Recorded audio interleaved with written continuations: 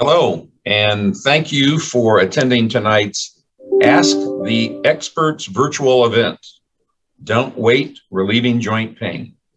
I am Dr. Tom Thompson. I am an orthopedic surgeon at Cleveland Clinic Akron General. Joining me this evening are three other orthopedic surgeons. Two are from the Cleveland Clinic Orthopedic Rheumatologic Institute, and one other is from Akron General Orthopedics.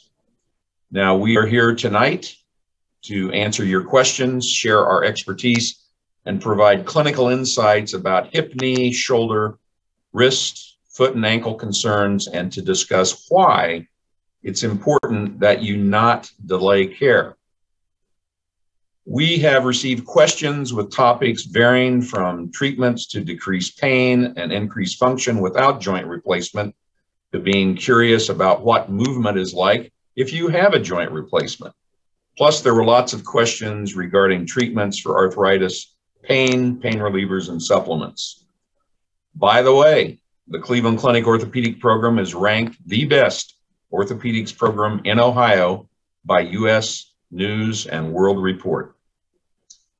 Now, we'd like to say that if you have avoided care because of the pandemic, because of COVID 19, please be assured that our locations are safe and ignoring a health issue can have consequences. We want you to know that you are valued and that your health is a priority. And I'm going to be giving you a couple of numbers that you can call for appointments in just a couple seconds. Please understand that even in the midst of this awful COVID 19 pandemic, which of course is getting better, whether you've received the vaccine or not, if you are experiencing a joint related issue, we encourage you to make an appointment by calling in Cleveland 216 444 2606 and in the Akron area 330 344 2663. And this, along with other information, will be sent to you after the show is over. So with that said, let's take a few minutes to do some introductions, then we'll dive right into the questions. So to kick it off, once again, uh, I am Dr. Tom Thompson. I'm an orthopedic surgeon at Cleveland Clinic, Akron General, and also your moderator tonight.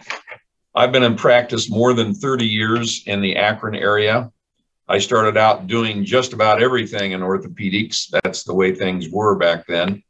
But as my uh, practice has matured, so to speak, uh, I am now doing primary hip and knee arthroplasties on my established patients. I grew up in Elkhart, Indiana, uh, undergrad at Brown. My med school was St. Louis University. I did my orthopedic residency right here at Cleveland Clinic, and I did an arthritis surgery fellowship in Denver. We will move on to our next orthopedic surgeon, who I understand is a lifelong Cleveland sports fan, and that is Dr. Kirk Haidet. Good evening, everyone. Uh, it, so my name is Kirk Haidet. Um, I'm a uh, orthopedic surgeon um, on the west side of, uh, uh, of Cleveland. Um, I see patients and do surgery uh, in Lorain and Avon. Um, I uh, focus on the hand and upper extremities, so from the collarbone, shoulder, all the way down to the fingertip. Um, I'm uh, born and raised on the west side of Cleveland. Uh, grew up in Rocky River. Went to St. Ignatius for high school. Um, I uh, did my undergrad at Georgetown in Washington D.C. Um, medical school at Cincinnati. Um, I did my uh, residency in Toledo and then spent a year in Milwaukee um, doing a hand and upper extremity um, fellowship. Um, yeah, so hand and upper extremity, uh, you know, and I, I, love being back on the west side of Cleveland, taking care of people who I'm a part of. Do you have anything that's a favorite? Um, I really enjoy doing uh, shoulder replacements. Um, and we'll, we'll get into the nitty gritty about that. Um, there's a couple different kinds and then um, uh, it, taking care of thumb arthritis as well. But but really anything in the upper extremity, I I love taking care of. Oh, very good. Thank you, Kirk.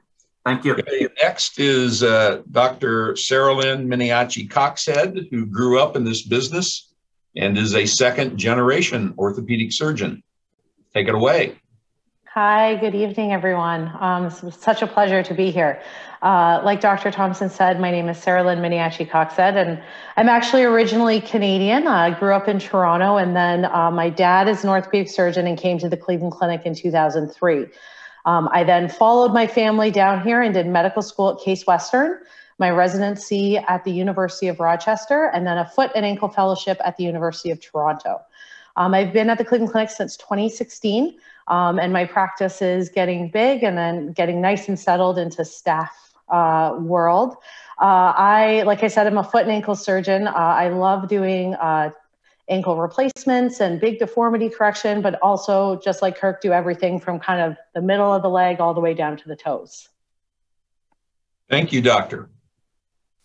All right, finally, we have Dr. Paul Wilkie, who is a double Buckeye. Dr. Wilkie. Hi, thanks, Dr. Thompson, and uh, thank you all for joining us tonight. Uh, like you said, I'm Dr. Paul Wilkie. Uh, I am uh, originally from Pittsburgh, but grew up primarily here in Northeast Ohio, um, making me a, uh, a, lifelong Buckeye fan. Um, I do, do, still hold some allegiances to those Pittsburgh teams, so Kirk, try not to hold that against me. Um, I did grow up here in Tallmadge, Ohio, graduated from Tallmadge High School. Uh, at that point, went down to the Ohio State University uh, for four years of undergraduate, followed by four years of medical school, making me a double Buckeye. Uh, then came back uh, to Akron at Akron General for their orthopedic surgery residency program. Um, I was uh, under the tutelage of Dr. Thompson for five years, uh, graduating there in 2015. Then went to Pittsburgh for a year, subspecializing in adult reconstruction, uh, mostly knee and hip replacements, um, and the revision of those. Uh, and then came back and joined the practice here with Cleveland Clinic Akron General Orthopedics. Uh, so my practice now, primarily 90 to 95% of it is doing primary uh, knee and hip replacements as well as revision knee and hip replacements. Um, and I like to focus on that. I love spending time here in Northeast Ohio. My family's all here. Uh, my wife was raised here, our two kids. Um, so uh, I don't plan on leaving anytime soon. And um, I really enjoy what I do. Thank you, Paul. And you do have the first question. That first question is the following How can you tell the difference between joint pain and ligament pain? And what if the pain is not constant but recurring? Sure. So, um, joint pain, typically arthritic pain, is something that comes on rather slowly, uh, is slowly, progressively worsening over time um, is usually focused mostly right around the joint, whether it be the knee, the hip, the shoulder, the wrist, whatever it is. Um, the area of it is focused right around that joint. It's mostly worsening with weight bearing activities, uh, increased time spent up and moving. Um, whereas a ligamentous type of pain is typically more from like an acute injury, a twisting injury, uh, perhaps a fall. Uh, ligamentous pain, you would notice more with pivoting types of activities, perhaps climbing, uh, twisting uh, is more um, what I would attribute to ligamentous. Uh, whereas joint pain uh, and typically arthritic pain is, is chronic, um, sort of a dull, achy pain, maybe tender to the touch, uh, could have some swelling attributed to it as well. Can you can you massage away arthritis pain?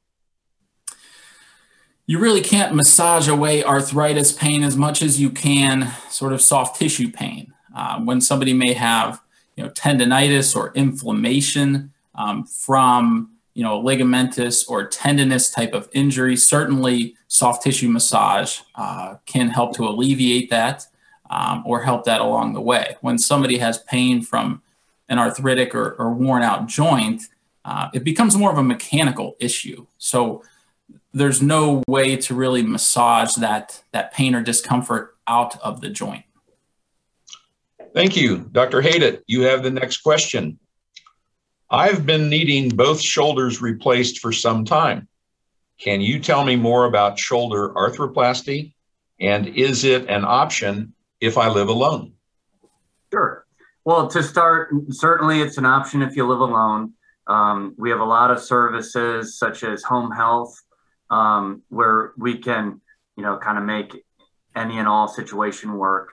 Um, uh, one question I get a ton is, am I too old to have this done? And I, I don't put an age limit on it at all. So as far as the shoulder arthroplasty um, or, or, shoulder replacement, um, to start, there are two kinds of shoulder replacement a standard or anatomic shoulder replacement or a reverse replacement. Um, and we would pick that one individually. Um, and what it really boils down to is if you have a good rotator cuff or not. Um, you have to have a good, strong, healthy rotator cuff to support a standard replacement. If not, we have a really good option and, and we do the reverse replacement. Um, as far as surgery, uh, it's typically um, a one night uh, uh, stay in the hospital. Um, you come in, the anesthesiologist will completely numb your arm up. Then we um, give you general anesthesia. We do an incision like this across the, the front of your shoulder to go in and replace the arthritic ball and socket with um, uh, metal and plastic. Um, so instead of raw bone on raw bone, you got nice new parts. Um, and then uh, it, it, you're typically in, in a sling after surgery for it, it ranges from six or I'm sorry, um, two weeks to six. I, I, tell patients to plan on six, but there are circumstances where we can get you out of the sling quicker. Um, and then uh, you, you, stay overnight. We make sure your pain's um, under control and I see you the next day and you, you work with occupational therapy and physical therapy. And when you're comfortable going home, you go home that next day. Um, we typically get you going into therapy uh, three, four days after surgery. Um, so we can uh, get you rehabbing right away and get you the best shoulder um, that we're able to. So, are you saying then that you can come out of the sling at intervals, you're not stuck in that sling for all those weeks, are you? Absolutely. Um, and, and, one really nice part about you staying overnight in the hospital is that gives you opportunity to, to work with our physical therapists and occupational therapists. They'll show you um, those questions that maybe I'm not the best answering, like how the heck do I get dressed? How do I wash under my arm, etc. They'll tell you how to come in and out of the sling, how to do it safely and how, how to, you know, move forward with life. Well, you, you're stuck in a sling for most of the time for the next six weeks or so. But you can come in and out. absolutely. And I'll just ask the question because I know our audience is wondering. They show you how to, you know, go to the bathroom with one hand. They they they they they, they leave no stone unturned. So That's yeah. That's a good way to put it. All right, Dr. Miniaci Coxhead, you have the next question. I have sprained my ankles throughout my lifetime many, many times.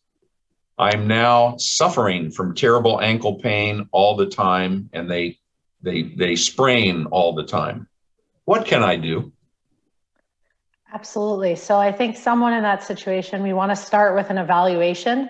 Uh, that would include an office visit with a physical exam and some x-rays.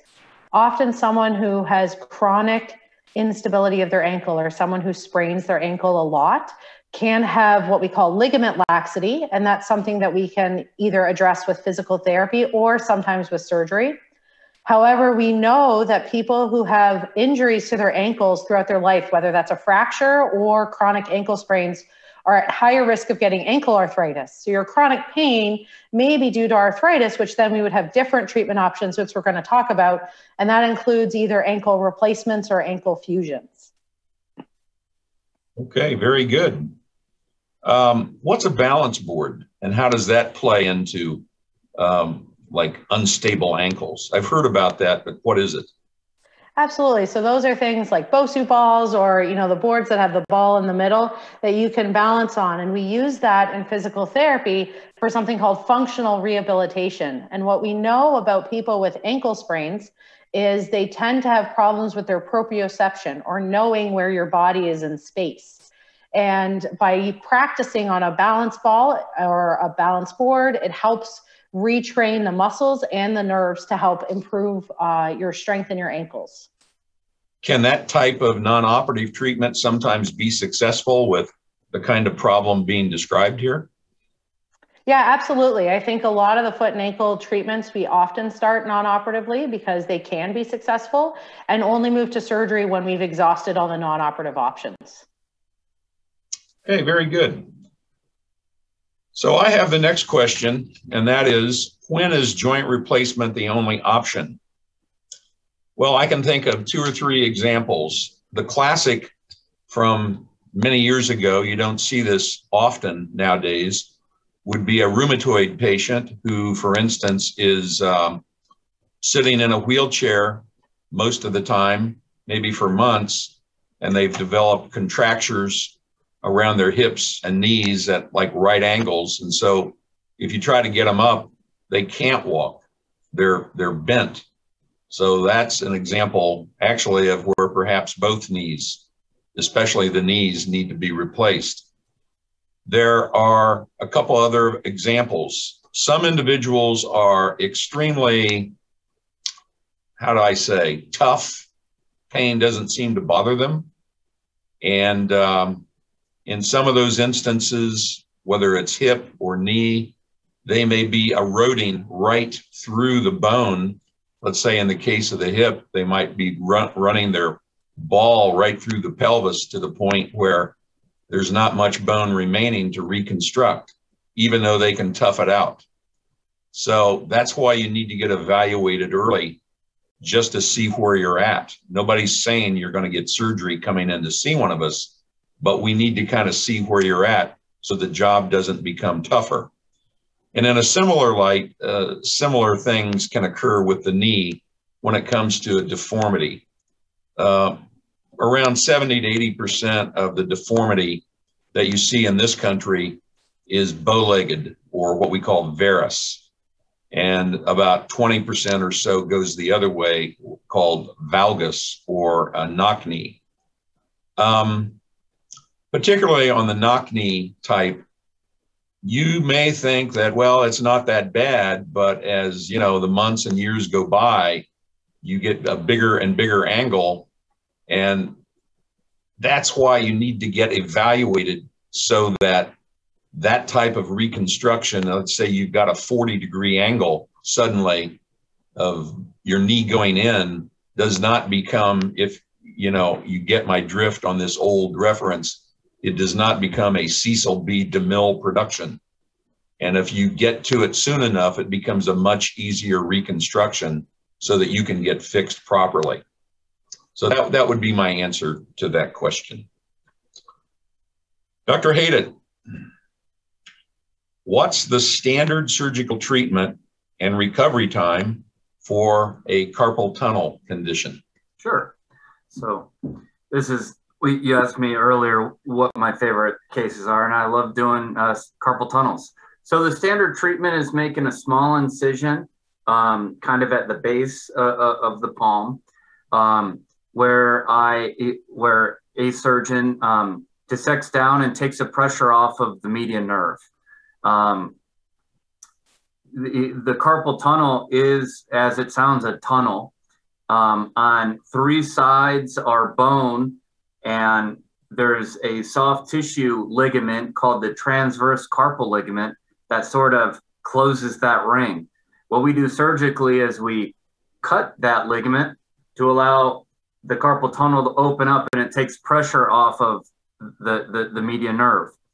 Um, so uh, most of these cases um, are done under local anesthesia. Um, so it's kind of nice. You don't have to um, be without anything to eat or drink. You don't have to undergo anesthesia, so it, it it's potentially safer.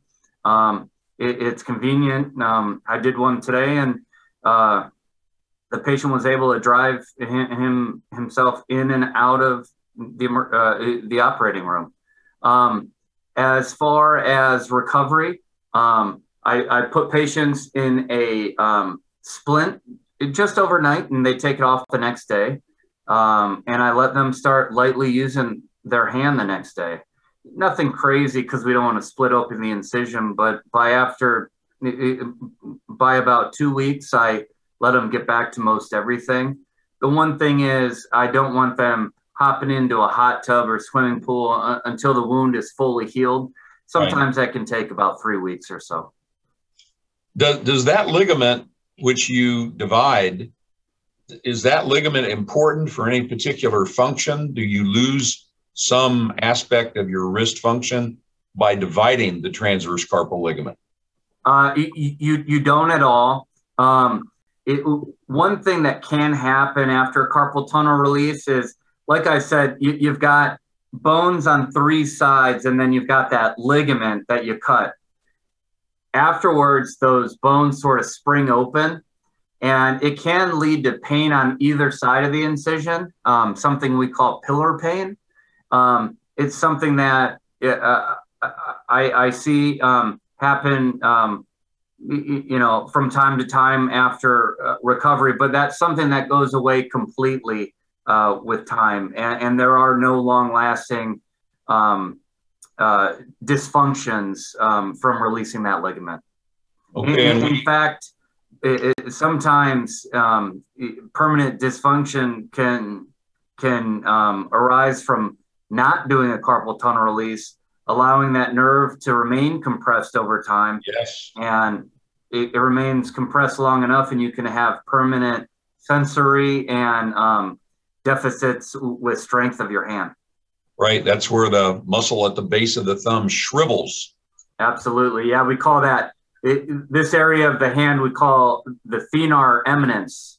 And um, it will often lead to thenar atrophy or, or wasting away of those muscles. We, uh, of course, want to put a plug in for one of our Cleveland Clinic uh, orthopedic surgeons back after World War II. Dr. George Phalen was a longtime member of the Cleveland Clinic faculty, and he popularized and actually put carpal tunnel syndrome and decompression surgery on the global map with with his uh, interest and so forth. And he was a Cleveland Clinic uh, orthopedic surgeon uh, right here in Cleveland, Ohio, back after World War II and in the 50s. Okay, Dr. Wilkie, you are next. Does exercise reduce knee pain and arthritis pain? Absolutely. So, just like any joint, um, the joint likes motion, it likes to move. Uh, I saw a slide earlier uh, in the introduction thing that said motion is lotion uh, which I thought was pretty good. I think I'm going to use that from here on out. Um, but it, a joint likes to move. I think most patients with with mild, moderate, even severe knee or hip arthritis would agree. Once you get up and go and start moving around and walking around, your pain actually improves uh, up to a point. Um, you know, if you walk a few miles, you may start having some limiting pain. Uh, but being sedentary and sitting for long periods of time and then getting up and going, uh, you tend to have uh, more pain after that. So I never discourage people from getting back to uh, their lower impact aerobic activities. So, what are those? Things like uh, walking, biking, hiking, using an elliptical machine, getting in a swimming pool, doing some laps. All of that is is aerobic activity. So it gets the heart rate up. It burns some calories, but you're not beating up your joints. Uh, you're not putting a whole lot of heavy impact on your joints. You know, trying to avoid things like running, jumping, jogging, uh, certainly, that puts a lot more impact on your joints, um, but those lower impact activities can certainly help um, with your your knee pain, and and it's not going to cause more harm to those joints that may have some wear and tear in them already. So, uh, my girlfriend and I like to walk in the mornings, and uh, sometimes we walk on the cement sidewalk in our neighborhood, and then sometimes we go to the nearby high school that has a tartan turf spongy surface that we walk around. Dr. Wilkie, which one of those surface, surfaces do you think would be better since we both have knee arthritis? I think it makes you know perfect sense that uh, the softer um, surface is going to probably cushion some of that impact. Um, more so even than walking on a softer surface because a lot of people don't have access to something like that but you know using a nice steady well padded shoe um, not wearing your shoes that you've had around for five or six years but something that offers you uh, a good amount of support uh, and that fits your uh, foot nicely maybe offers you even some ankle support uh, i think dr miniaci will talk about that in uh, a moment here but um, something that provides you a lot of support uh, and gives you some cushion uh, and also walking on a nice flat level surface. Um, you know, I did bring up hiking earlier, but certainly rougher terrain, even out on a golf course or a trail or something like that, you may find exacerbates your pain more so than walking on a sidewalk or a nice flat level surface. Okay, fair enough. Dr. Miniaci Coxhead, what is the best over-the-counter options for relieving arthritis pain in the foot and ankle? what are some other non-surgical options? Absolutely. So um, just like every other uh, joint in the body, we get arthritis, and there's some over-the-counter medications and creams that you can use. So the anti-inflammatory family, things like ibuprofen, Motrin, Advil, Aleve, are all things that can be very helpful with arthritis type pain, as long as they're safe for you to take, and you can speak to your doctor about those. Um, the cream that I like is a Voltaren cream, which is now over the counter, and that's actually an over the counter medicine, so you don't need a prescription for it anymore. That actually changed last year. It got overshadowed by the pandemic. I think it would have been a lot bigger of a story had uh, there not been a pandemic going on. Um, in terms of for the foot and ankle specifically, we like to use a lot of bracing and stiffer soled shoes. The idea behind this is that it keeps the motion limited in both the ankle and the foot, which helps decrease that pain. So any of the over-the-counter lace-up braces, or if you have more of a foot arthritis, a stiffer soled shoe. So when you take your shoe and you grab the heel and you grab the toe and you try to bend it, you want it to be nice and stiff. Those are shoes that tend to be a little bit better for people with arthritis in the ankle and foot.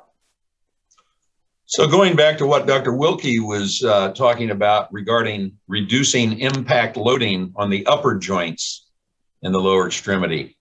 Uh, do you have any particular advice regarding shoe wear in terms of cushion? Uh, I, I, don't think any of us have any conflicts of interest here in terms of brands. And do you have any favorites? Name a couple and why. What What's a cushioned footwear for arthritis in, in the legs? Sure. So, uh, yeah, no disclosures here. I have uh, no brand allegiance. So, I think uh, the Hoka shoe is a new shoe that's been on the market now for a few years. It's spelled H O K A. And that one I find a lot of my patients really enjoy. I think one, it's a stiffer shoe, it's a thicker uh, sole that has cushion, but it also has a little bit of a rocker bottom. And for patients with both ankle and foot arthritis, the rocker bottom is really helpful.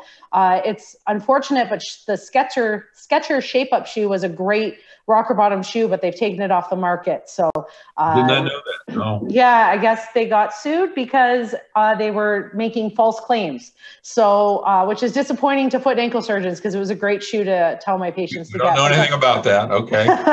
but the Hoka shoe uh, is a great shoe. Um, I think New Balance.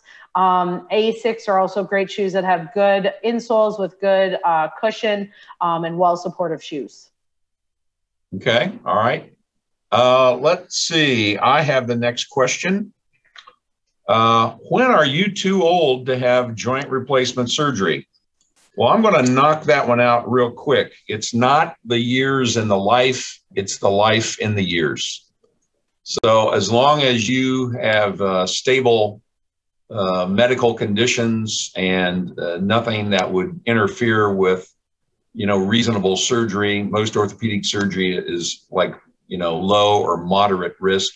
Generally speaking, um, you're, you're going to be okay. There are some instances from a cardiac standpoint that you you could be 50 and have have a problem that would perhaps uh, uh, disqualify you from having any surgery, and you could be 90 and be in great shape and have surgery. So uh, my suggestion is don't don't ever dwell on age because that's that's really not not an issue.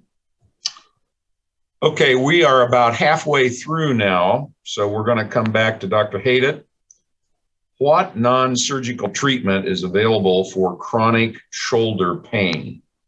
And let's see, when is it best to just do physical therapy or have injection versus a surgical solution? So I, I, think it's reasonable to always try conservative or non-surgical treatment before you jump into surgery. Um, and uh, it, and I think uh, the other um, panel would would echo that. Um, as far as what we can do non-surgically for chronic shoulder pain is number one we got to get you in um, to the office and examine you take x-rays and figure out what, what what's the source? Is it is it arthritis? Is it rotator cuff? Is it frozen shoulder? And then once we know w- w- where the pain's coming from we can we can direct you. Um, oftentimes that can include cortisone injections or, or steroid injections. Um, and uh, oftentimes it, it, it, can include uh, physical therapy. Um, oral anti-inflammatories or like Dr. Uh, Miniaci Coxhead said, uh, uh, topical Voltaren gel are all great options. Um, but yeah, getting in to see your doc and and um, getting diagnosed with with what the source of pain is uh, can kind of be your springboard as far as uh, um, you know what treatments to consider next. Um, and what I tell patients is they always ask when when should I have a shoulder replacement, and I say you know let's do our best to avoid surgery and and and keep you comfortable doing what you want.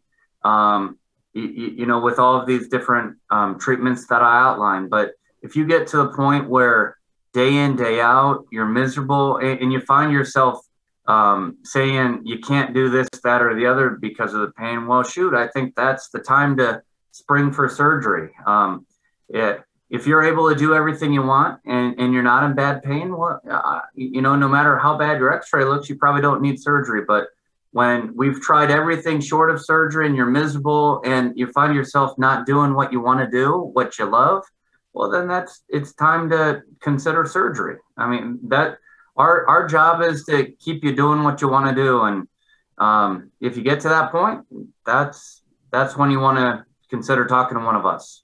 So, so you've alluded to something I think that's important for for all four of us, and that is you're indicating we treat the patient, not the X-ray. Doesn't absolutely. matter how bad the X-ray looks, correct? Yeah, you're absolutely right. That that's a paradigm that we all learn in training. Is you treat the patient, not the X-ray. Um, you, you know, some patients have X-rays you know, there's some arthritis, but it's not horrendous. But we've tried everything, and, and, I think that's reasonable to go for surgery. And there are some people where you look at you look at the X-rays and you cringe because it looks so bad, but they're not in pain, and it'd be silly to put a patient through all the risks of surgery if you know if they're not painful in the first place. So sure. absolutely. If they, have, if they have enough bone stock and you're not eroding something important so be it. I'm going. I'm going to. And that's a good point. Like you had said previously, there are times when you know, even if you're not in the worst pain, it, it, in the shoulder in particular, um, it, the shoulder is a ball and socket. Sometimes the bone on the socket side can wear away, such that it makes a, a routine surgery um, very difficult, and sometimes you know, kind of takes it off the table. Um, so yeah, to your point, Dr. Thompson, there are some times when, you know, we need to maybe urge a patient or, or just let a patient know why, you know, um, it, surgery now would be better than trying to push it off even longer. Okay, that, that's very good. Dr. Miniaci Coxhead, when do you fuse and when do you do an arthroplasty on toe joint issues? So, great question. Um, so, when it really depends on the patient, um, toe fusion or great toe fusion is the gold standard for great toe arthritis. Um, tell, tell, us tell us about what what you mean by that. In other words, you got the big toe. Absolutely. likes the Dickens when you push off. Take it from there. Correct. So your big toe joint is kind of that big, you know, if I use my thumb as an example, it's this joint right here of your toe. And right, when you have pain with push offs, often people have a big bump over their big toe. Um, that's very uh, classic for, um, we call it first MTP or great toe arthritis. It has been fused since the beginning of time and it is a very successful surgery. What i tell my patients is it our gait analysis studies show that there's no changing gait uh, after a first mtp fusion so people can walk fairly normally and there's actually a soccer player in Europe and a tennis player in Australia who had first MTP fusions and continue to play their sports. So you can still be very active with it. And that's why it's still the gold standard and that's why we still go to it. It's one of my more successful surgeries that I do. My patients are very happy. Um, the big downsides to a fusion is um, there are some limitations with certain yoga poses. Uh, if you want to get into a more crouched position and that toe would really be bent up. Um, but I will be honest, most people with end stage arthritis of their great toe aren't doing those things anymore, or they've learned to modify. So it's actually not that big of an issue if you fuse. However, wearing heels is one of the downsides to fusions. You are limited. You are limited to about an inch heel, which is a kitten heel, so about this big. Um, and uh, that is something I can't get around. That is a limitation of the fusion. Now, arthroplasty, for the great toe uh, is gaining some traction. There are a couple implants on the market that are showing some promise. Um, and I really take that as an individualized conversation. I think it has to be the right patient uh, to talk about an arthroplasty in the great toe. Okay, and a follow up question would be Do you do a different angle of fusion for women versus men? I don't. I tend to do it about the same. For both my men and women, I want their big toes sitting just a few millimeters off the floor when they stand to allow for proper rollover when they walk. Um, I think the problem with doing too much of that up motion or dorsiflexion is that your toe can then actually rub on your shoe, which can be more problematic. So typically, I try to keep in the same uh, ballpark for both men and women. Okay, very good. Very good. Okay, Dr. Wilkie, I'm going to ask you a preliminary question before we get to your regular question. Sure. It, you obviously give cortisone injections, uh, usually in knees. What if you have a diabetic patient? How do you approach the, the cortisone injection with a diabetic patient, knowing that that raises blood sugars in a diabetic? Sure. So I don't limit uh, cortisone injections in diabetic patients. I do counsel them that over the next two to three, sometimes five days, they will notice a slight bump or increase in their blood sugars depending on um, how often they're checking their blood sugars. Uh, certainly, I would limit the injection to just one knee. Uh, there are some patients who have bilateral knee arthritis, uh, and at that time, I would typically give them bilateral knee injections if they were both symptomatic. Uh, however, in diabetics, I do discuss with them uh, because of their condition uh, and their elevated blood sugar levels uh, and their propensity to have increased blood sugar levels with their diabetes that it's safer to uh, separate or spread those injections apart by at least several weeks. Um, versus in, in uh, patients without diabetes, I think it's perfectly fine to do both injections at one time. Uh, there are other types of injections beyond uh, just the cortisone or the steroid injections. Um, the visco supplementation or the gel or rooster comb injections that some people refer them to. Um, those are good options. The uh, literature is a little uh, more spread on those as far as uh, their outcomes. Um, what I counsel patients on those is they're just less predictably effective. Meaning, I know if I give somebody a cortisone injection, probably 95% of patients are going to get some sort of relief in that joint. It may be for six weeks, it may be for four months, but they're going to get some sort of relief. Versus the viscosupplementation or the gel injections, it's about 70% of patients that I find get some sort of relief. That other 30 to maybe even 35% of patients, they just don't get any relief from those types of injections. and you don't know what kind of relief you're going to get unless you try them. Um, there are insurance companies out there that do limit um, the types of visco supplementation that we can offer uh, because of the research that's out there that's a little more spotty as opposed to cortisone injections. Do you, um, if you have an insulin dependent diabetic, do you prefer preferentially go to the gel injection or do you still stick with the cortisone first? In those patients, I do uh, prefer to start more with the gel type of injections as opposed to the cortisone. Um, and it depends what my relationship is with that patient and how long I've known them. And if we've done cortisone injections in the past, then they've had good outcome um, with minimal uh, effect on their blood sugars that they're able to um, tolerate quite well with their own insulin dosing, then certainly uh, a cortisone injection in that uh, instance or that case would be fine. Uh, but those patients, um, you know, I think they are probably better candidates to start more with a gel type of injection uh, rather than the, the cortisone at first. The, the insulin dependents, of course, are, are more sensitive to the cortisone reaction. Uh, give me a one liner on the actual question. I'm concerned about going to the hospital during COVID. Will delaying joint replacement surgery make the pain worse? It can certainly make your joint condition worse. Uh, as we talked about several times already um, in this webinar, you know, as time goes on, your joint can start to wear into the bony support around that joint. And if that's the case, the joint not only becomes harder to reconstruct, uh, it becomes stiffer.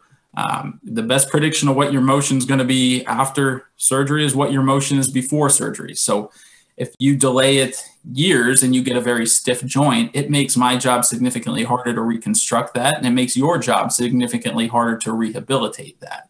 Um, so certainly delaying it weeks to even maybe months is not going to uh, cause a lot of harm or dysfunction. Uh, but if you start looking at months into years, um, then that could be a different story. Is there any reason to delay because of this pandemic? At this point, I really don't think there is. Um, you know, okay. we have uh, very separate areas in the hospital for our elective types of procedures, where those patients are staying, if they do even need to stay in the hospital. Um, every patient is being tested as they come into the hospital, no, not only for their elective surgery, uh, but also if they're being admitted for some sort of medical condition as well. And that's most of my exactly it, most of my patients um, that are coming in for an elective surgery are either going home that same day or the very next day. So we are very much limiting how how long or how often somebody actually has to stay in the hospital. Okay, very good. All right, Dr. Haidet, regarding shoulder replacement, once again, what is the long-term outlook and recovery time? Will it improve my range of motion on a joint particularly damaged from old trauma? Good question. Um, so as far as the long-term outlook, um, the number one goal I tell patients is pain relief.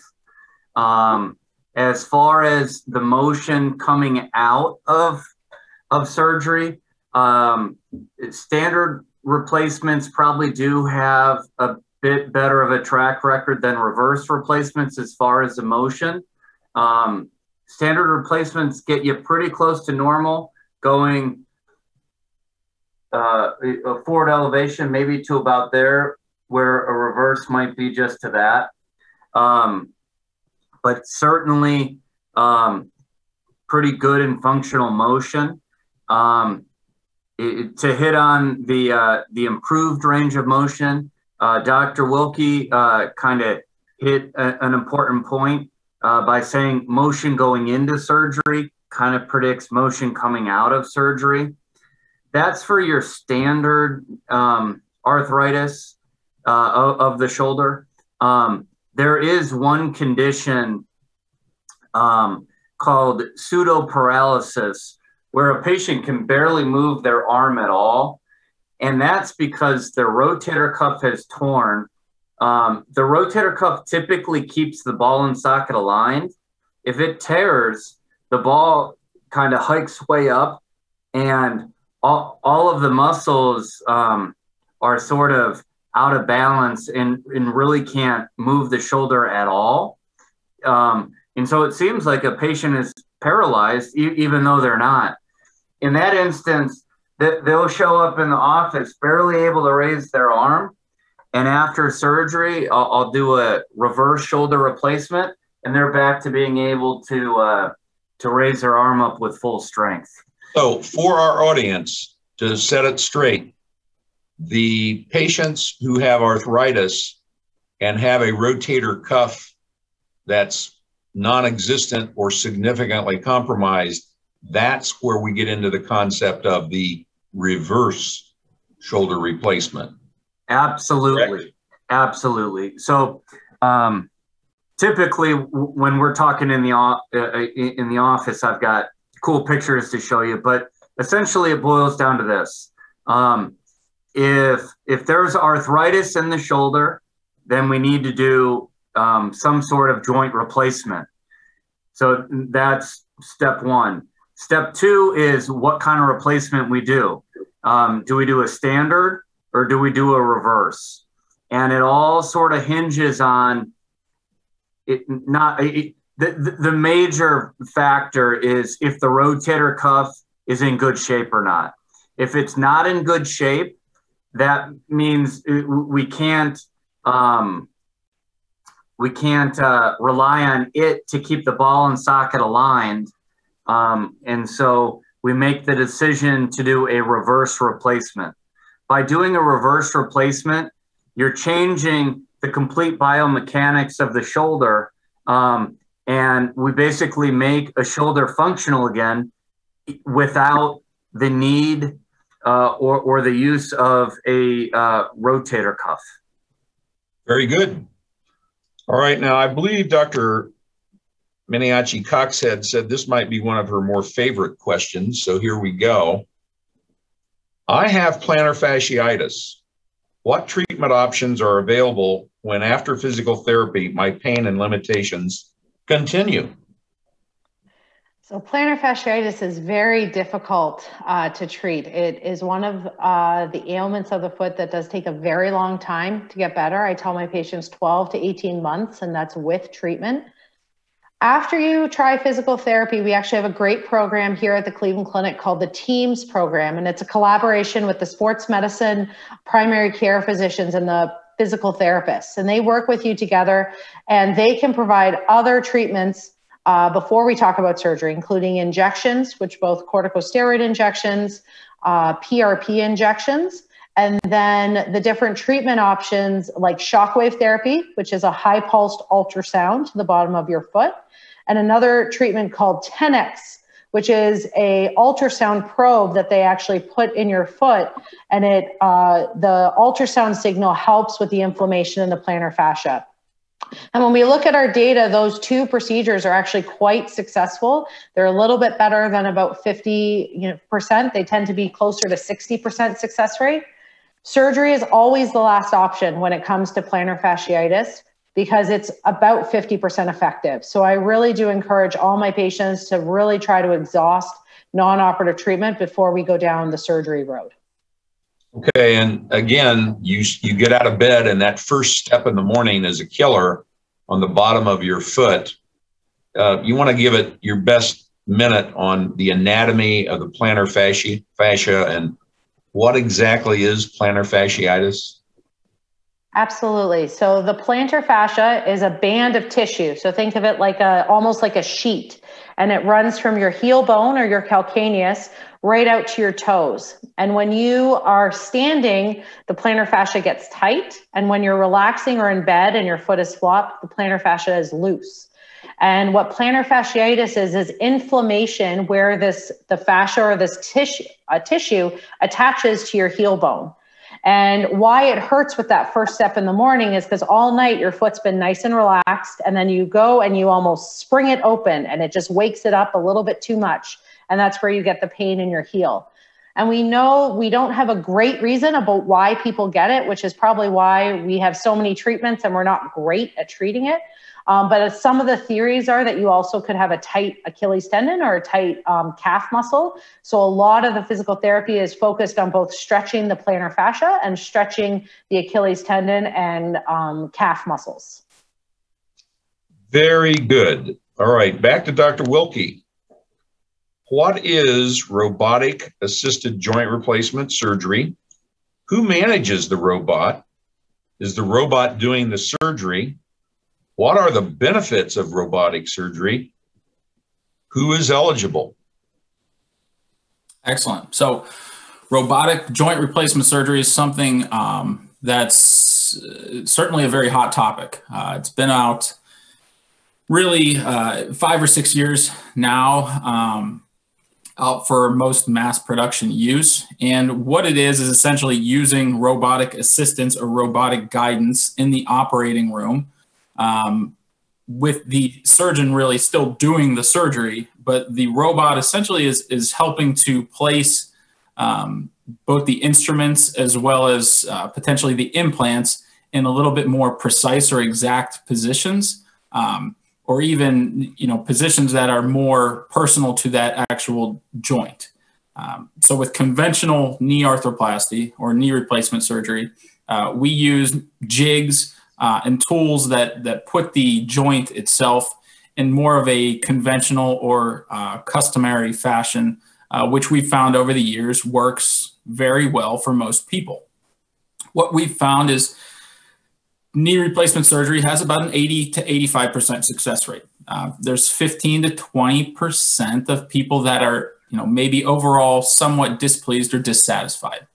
What robotic joint replacement surgery is trying to do is focus on that 15 to 20% and perhaps take that down to 1 to 2%.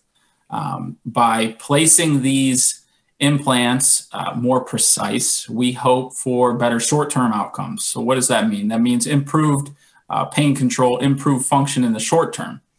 We hope for improved long term outcomes. So, we hope that overall these joints, if we put them in more precisely, more exacting, uh, more personal for that actual joint space, um, that these implants are going to last longer. Most implants now we say will last 15, 20 plus years. Um, if we can get another five to 10 years by putting them in more precisely because of the robot, certainly that's a win. Um, because the technology's only been out for five years. We don't know what the long term results are going to be now, but um, it's definitely a hot topic. It's becoming more and more popular.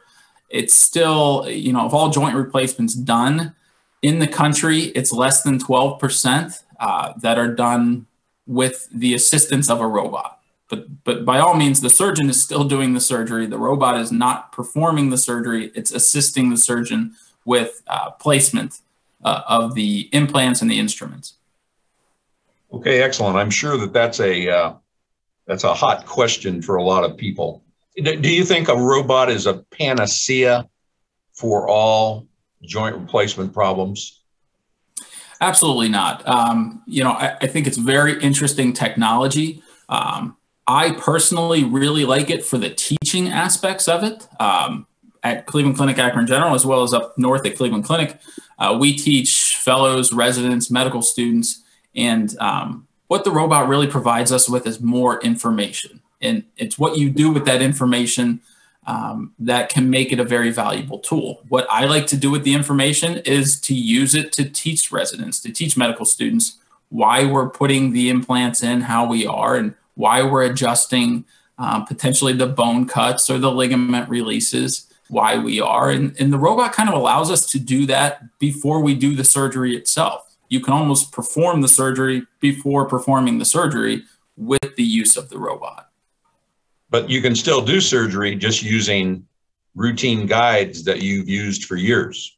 Absolutely. I mean, anybody who does tens, if not hundreds, of joint replacements a year can easily do a knee replacement. In fact, in less time than it takes them to do a robotic knee replacement. So it does somewhat slow you down because there's different steps to do. And by no means is it necessary. Um, will it provide us with better outcomes in the future? time will tell. Okay, Dr. Haidet, I've heard that rotator cuff surgery is a son of a gun. It really hurts. It's difficult to recover. Um, has anything improved with this this problem and and so forth over the years? Is it still a miserable experience to have your standard rotator cuff fixed?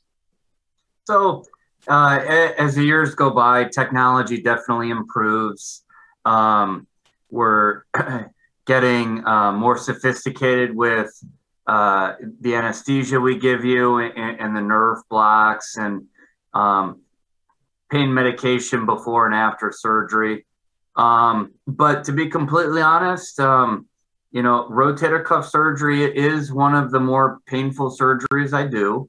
Um, not not to say uh, that it shouldn't be done, but um, so the rotator cuff attached. If this is the ball and this is the rotator cuff, the rotator cuff is torn off, and what we do in surgery is reattach it. So we pull that rotator cuff back over, um, and, and, and and it's a painful thing for for a patient to have that tendon being pulled back over.